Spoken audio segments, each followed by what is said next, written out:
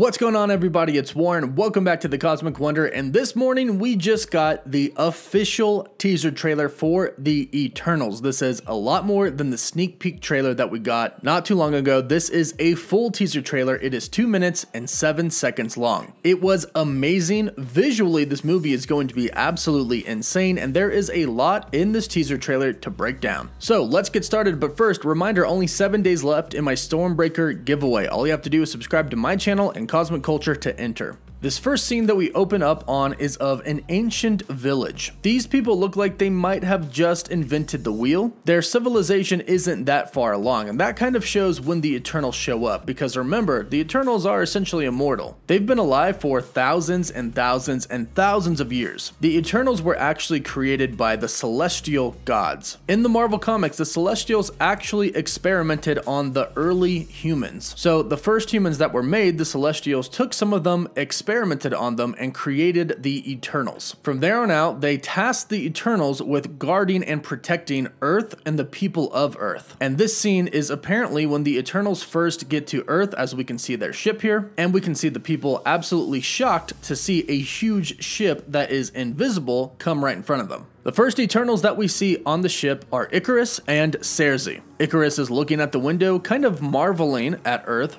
pun intended, and Sersi comes up and says, It's beautiful, isn't it? Further implying that this probably is the first time that the Eternals are arriving on Earth. Fun fact, Sersi is played by Gemma Chan. Gemma Chan was also in the movie Captain Marvel. She played the role of Minerva. Marvel thought that she was so great that she got the main role of Sersi for the Eternals. Now from here we see a few other Eternals and get a glimpse inside their ship. We see Salma Hayek's character Ajax walking down the hall, and she is the leader of the Eternals. It looks like she walks into a room, and in that room we get our first look at Angelina Jolie's Thena, and she looks absolutely insane. Thena is the warrior, the fighter of the group, which is very suiting for Angelina Jolie. Now, in this room that the Eternals are in, we can see several different things. We get a close up of Salma Hayek's character and her outfit, and behind her, it looks like there could be some plants in the background. Perhaps these plants they actually put on Earth to help the humans kind of start growing trees and vegetation. Although they do kind of look alien like, so perhaps they could be something from wherever the Celestials created them. We then see two new characters Brian Tyree Henry's Phastos and Lia McHugh's Sprite. Now, in this scene, we see Phastos kind of manipulating something. Phastos is the Eternals' is master technologist, and although we don't really know what this is, it probably is some type of a tool or technology that he's using for something that I'm sure we'll figure out within the first two minutes of the movie. Also sitting behind him is Sprite. Sprite is kind of the playful trickster of the group and can cast illusions. And Sprite is actually an adult but stuck in the body of a child. And although the MCU doesn't ever completely just do what the comics did, we can assume that all of the Eternals were indeed made at the same time.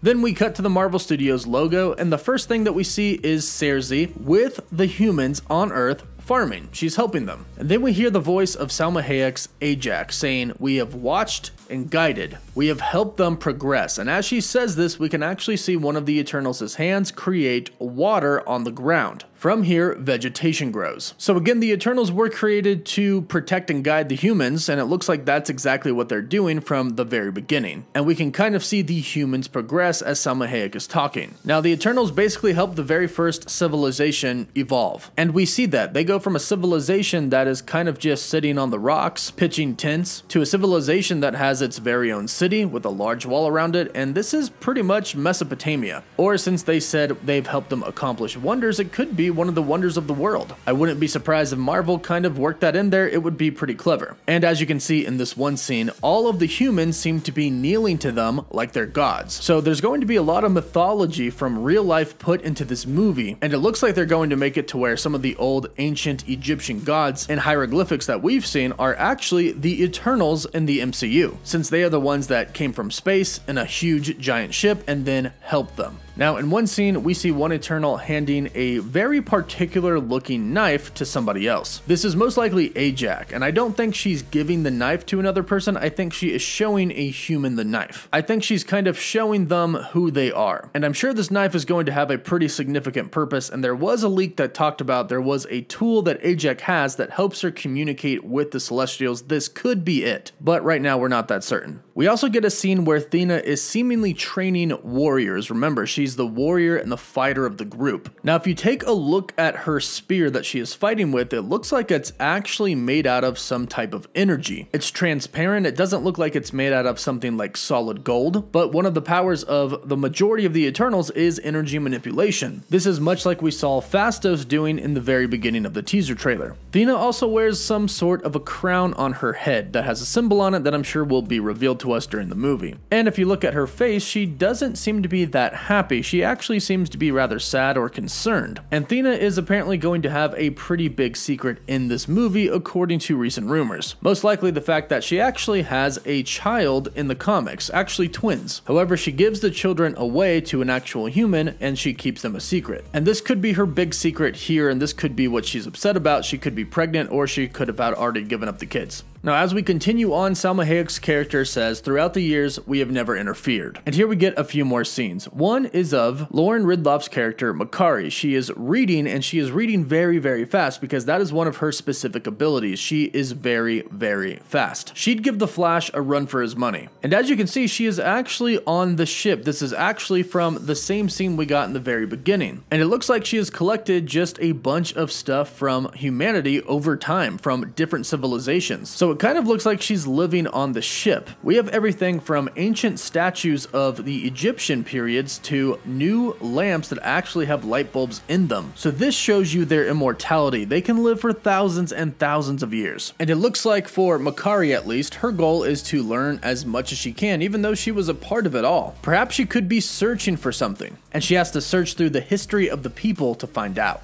Now, as Salma Hayek says we have never interfered, we see Sersi walking through what I'm going to call Mesopotamia, and then we see her in modern times, living amongst the people in normal clothes. Now, this is what Sersi does. This is who she is. She actually loves people. She loves humanity, and she prefers to live with the people instead of the Eternals. Now, Salma Hayek says we've never interfered, even though they basically built an established civilization and everything is pretty much a result of them helping, but we see humanity start to kind of go at war with each other. And this is where the Eternals don't interfere. It looks like they kind of started them off and then let them go. So we kind of start to see wars here, villages being ransacked, and the Eternals basically just sit back and watch. However, then we hear Ajax say, until now. And there are a few very important scenes that we have to talk about. The first one is of Gilgamesh and another Eternal holding hands. Now, the Eternals holding hands is nice, but that's not what we're looking at here. We're actually looking at what is happening in the background. In the background, it looks like we actually see some sort of a figure. This looks like it could be a hologram or a projection of one of the Celestials. After all, we do know that the Eternals do have to communicate with the Celestials sometimes. However, in another scene in the village where some of the Eternals seemingly live, we can see one of the Eternals fighting something. It looks like it's some type of a horse because it has four legs, but it looks like it's definitely not anything of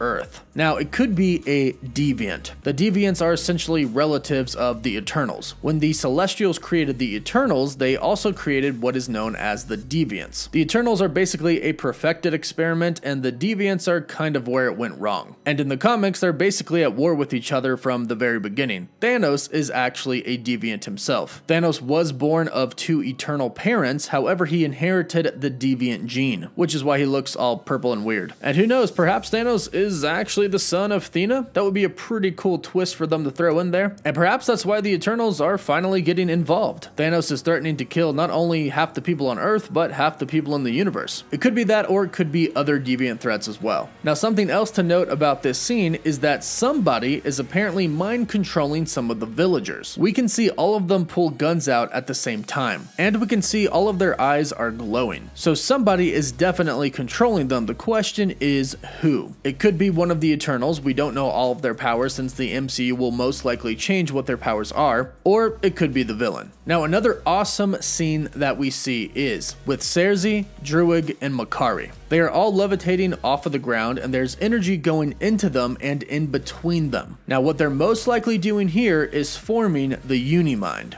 The Unimind is created when several Eternals come together and join their will and intelligence. They come together and create one giant being created of light, mind, and pure energy. This is going to be absolutely crazy to see on scene, and it looks like they're probably doing this right before they have to fight the big bad villain at the end of the movie. And then we get a few scenes of Ikaris and Sersi. They definitely have some romance going on here. Looks like they start out as a couple and then they end up eventually getting married. As we can see here, it definitely looks like a wedding ceremony. And it looks like they're together for a pretty long time. However, it does look like we're going to have a love triangle here because we know that Sersi is also going to be involved with Dane Whitman, aka the Black Knight, played by Kit Harington. And we actually do have a scene here with Sersi and Kit Harington. It definitely looks like more modern times, so maybe her and Ikaris end up breaking up, or who knows. Then we get a pretty awesome scene of Kumail Nanjiani's character, who is a Bollywood star. He is living among the humans and sort of hiding in plain sight, and he's clearly made a pretty good life for himself. Kumail Nanjiani actually talked about a huge Bollywood dance scene that they did, and it looks like they show us some of that in this trailer. And then, of course, we get the awesome scene on the cliffside where we see all of the Eternals fully dressed in their Eternals outfits. From the left to the right, we have Kumail Nanjiani's character Kingo, Lauren Ridloff's character Makkari,